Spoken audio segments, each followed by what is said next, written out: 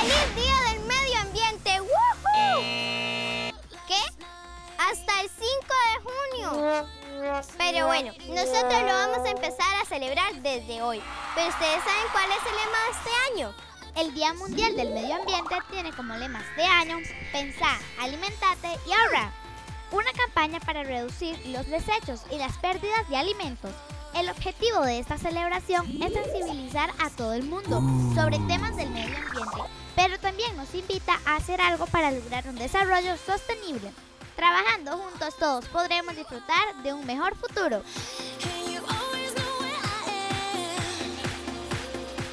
Qué importante es que todos demos nuestro granito de arena. Pero como este año el lema es pensar, alimentate y ahorra, empezamos por no desperdiciar la comida.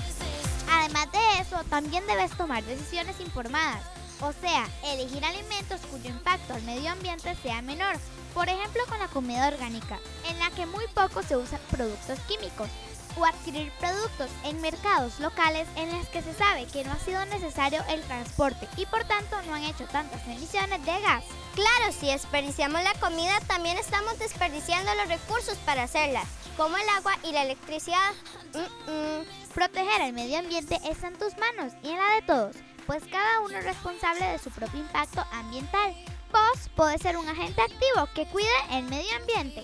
Definitivamente se trata de que nos alimentemos mejor para ahorrar y cuidar el medio ambiente. Recuerda que vos podés hacer la diferencia, no solo este 5 de junio, sino todos los días. Empezá desde hoy, no desperdicies la comida y decirle a tus amigos y familiares que ellos tampoco lo hagan, porque así cuidas el medio ambiente. ¡Genial! ¡Feliz Día!